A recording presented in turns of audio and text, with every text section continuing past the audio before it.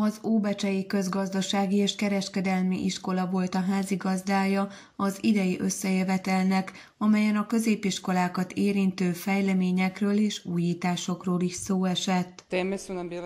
Különböző témákat vitattunk meg, a többi között a köztársasági versenyeket, amelyek március és május között lesznek.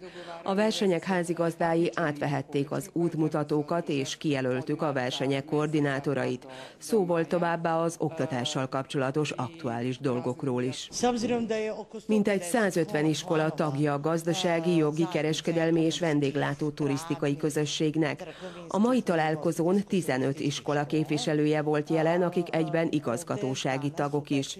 Jó magam, már 5 éve vagyok igazgatósági tag, és nagy örömömre szolgált, hogy idén mi lehettünk a házigazdák, hiszen minden évben más helyszínen tartják meg ezt a találkozót, amelyen az iskolákat érintő dolgokról esik szó. Az eseményen az Óbecsei iskola működését, fejlesztését és az oktatás terén elért sikereket is bemutatták.